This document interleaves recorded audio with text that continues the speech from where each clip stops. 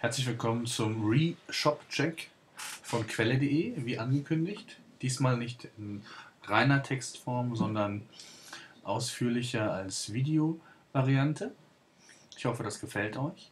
Ähm, Anfang Mai ist Quelle.de zum dritten Mal mit einem runderneuerten Konzept gestartet. Ähm, einen Tag nach dem Start haben wir direkt einen Shop-Check umgesetzt haben den auch entsprechend in unserem Magazin veröffentlicht, wie man hier sehen kann. Ähm, und heute möchten wir das Ganze nochmal einige Wochen später ähm, Revue passieren lassen, schauen, wie sich der Shop entwickelt hat, ob überhaupt Veränderungen festzustellen sind. Das werden wir heute kurz und knapp nochmal durchgehen.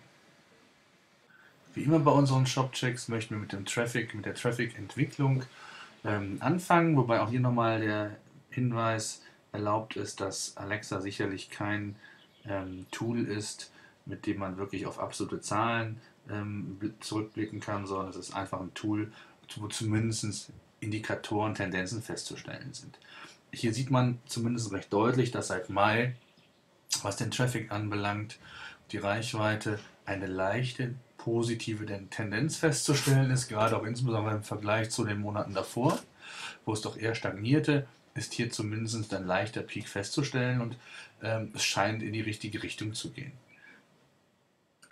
Ähnlich sieht es aus beim Sichtbarkeitsindex, den wir ja auch immer regelmäßig äh, mit uns in unserem Shop-Check berücksichtigen.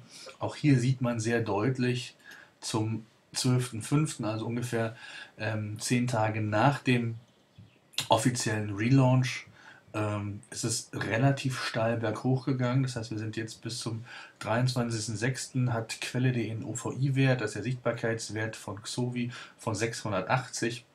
Vergleichen wir das mal mit dem Juli 2012, da liegt er bei 200,79. Also eine ganze Menge, was sich da getan hat. Auch der Verlauf der Rankings, wie man sieht, ist deutlich nach oben gegangen. Beispielhaft auch was das Social Media Verhalten angeht, kann man sagen, dass sich die Werte nahezu verdoppelt haben. Gerade was Facebook Comments oder Facebook Likes angeht, lagen wir ähm, bei unserer vergangenen Analyse, die ja noch gar nicht so lange her ist, sondern knapp zwei Monate, äh, bei rund 500. Hier liegen wir bei fast 2000. Gleiches gilt auch hier für Facebook Likes. Auch hier haben wir fast das Doppelte. Ähm, also auch hier gibt Quelle.de mächtig Gas äh, und scheint da wirklich ähm, den dritten Start ernst zu nehmen und da nochmal in die Vollen zu gehen und zu schauen, ähm, ob sich die Anstrengungen auch wirklich rentieren, ob die äh, Nutzer das neue Produktportfolio annehmen und auch entsprechend sich das monetarisieren lässt. Zusammenfassend kann man sagen, dass Quelle.de auf einem recht guten Weg zu sein scheint, dass auch im SEM-Bereich, also bei der Schaltung von AdWords, ähm, Quelle sehr aktiv aktuell ist und da entsprechend, ähm, ich glaube, über 2000 Keywords gebucht hat ähm, mit verschiedenen Keyword-Phrasen, Keywords etc. Ähm, und ähm, der erste Re-Shop-Check nach knapp acht Wochen zeigt eine deutliche Tendenz nach oben in allen Belangen, sowohl was Traffic-Aufkommen angeht, was Sichtbarkeit angeht, was Social-Media-Aktivitäten angeht.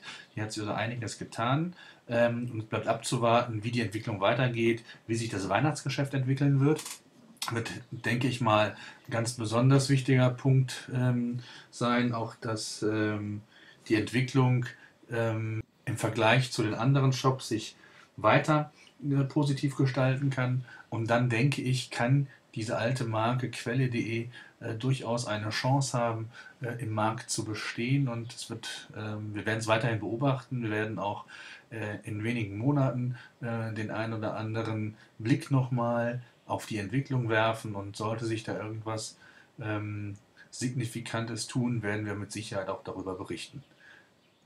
Bis dahin eine angenehme Woche und bis demnächst.